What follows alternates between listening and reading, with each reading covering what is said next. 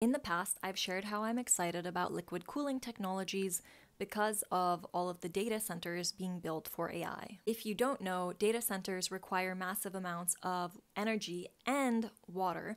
And if you're not familiar with this, then I have an article breaking this down, very basic, on my newsletter linked in my bio. However, what's interesting about this is that as chips get more powerful, they will require better cooling. Driving this is actually chemistry. This means if we bridge the gap that AI growth requires and will rely on chemistry. Chemours, an American Chemistry Council member company, is doing some interesting things focused on liquid cooling innovation. We now have one of the largest innovation centers in the chemical industry, and this is in Delaware at the University of Delaware. The company also recently launched a new production line in West Virginia, providing essential materials for high purity semiconductor chips.